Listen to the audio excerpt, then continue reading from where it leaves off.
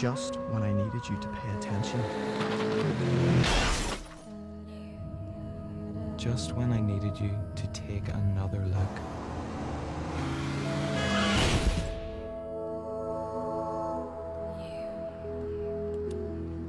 Just when I needed you to show consideration. Just when I needed you to look really closely.